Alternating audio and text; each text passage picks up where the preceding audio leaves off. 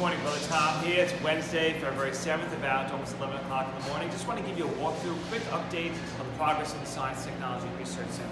As you see behind me here, you get great views of the campus from the landings on each of the floors. To my right up here is the Foucault pendulum, which is the centerpiece of the atrium. Once active, that will keep track of the movement of the Earth and time passage throughout the course of the day. We're walking up the main staircase in the atrium.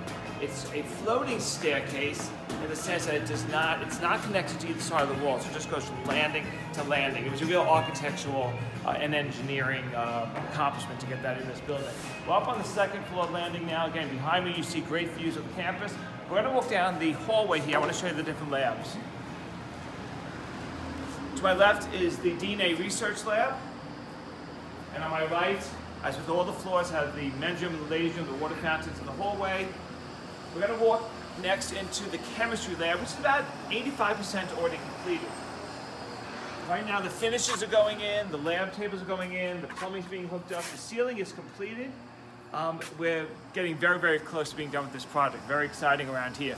Behind me here across the hall is the biology lab. Now when you notice in the hallways how wide the hallways are and how bright they are, there's nine windows in every room and the hallway walls for the labs are these electronic glass walls. You've heard us talk about this in the video. So if I'm a teacher in class, I want to show a video, click a switch, these walls become electric, they become opaque, the video can be shown, I can have the kids working on the board up here.